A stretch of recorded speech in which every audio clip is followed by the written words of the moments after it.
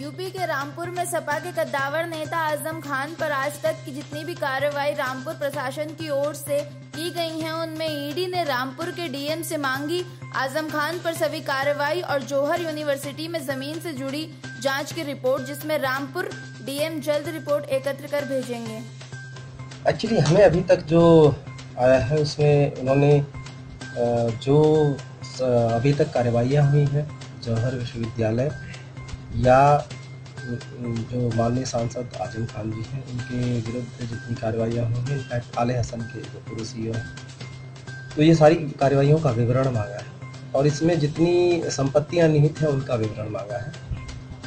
ये हम कैलकुलेट करवा रहे हैं। सारी चीज़ें इकट्ठी कर रहे हैं, इकट्ठी करके उनके पास भेज देंगे जाँच करेंगे, ये तो मुझे नहीं पता। मुझसे जो सूचना मांगी है, वो यही है कि अभी तक कितनी कार्रवाइयाँ की गई हैं इसमें।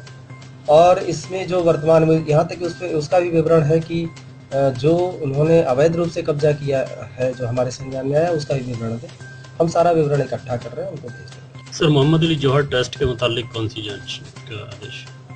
हमें तो देखिए वो एक तो एसआईटी टीम गठित है वो ट्रस्ट के सारी चीज़ों की जाँच कर रही है और शासन के से एस गठित है।